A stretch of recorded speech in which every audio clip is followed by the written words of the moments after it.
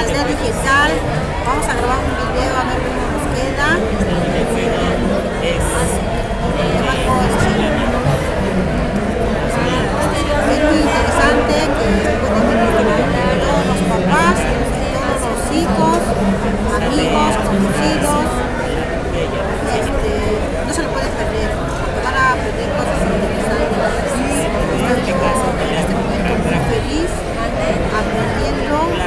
Este,